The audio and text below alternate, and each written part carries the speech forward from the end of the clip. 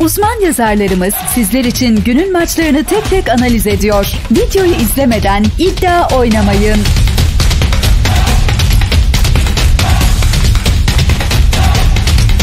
Mısır ve Gine-Bissau arasında oynanacak karşılaşma, iki tarafında kazanmaya ihtiyaç duyduğu bir maç olacak. Mısır'ın daha güçlü ve tecrübeli bir takım yapısına sahip olduğunu bilerek, bu maçta daha etkili bir performans sergileyebileceğini düşünüyorum. Gine-Bissau'nun ise gücünün Mısır'a karşı biraz daha zayıf kalabileceğini tahmin ediyorum.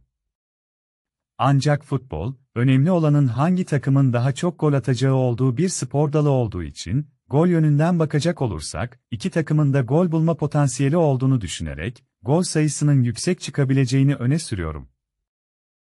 Diğer yandan, Mısır'ın daha tecrübeli kadrosuyla maçı domine etme ihtimali de bulunmakta, tahmin MS2 oran 1.51. Maçla ilgili senin de yorumun varsa yorumlarda sen de paylaş. Videomuzu beğenip kanalımıza abone olmayı unutmayınız.